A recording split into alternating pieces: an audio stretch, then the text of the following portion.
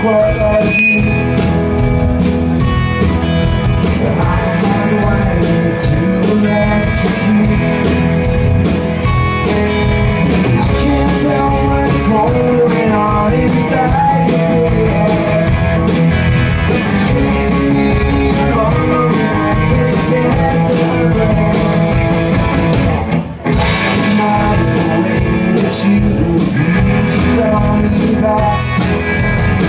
Why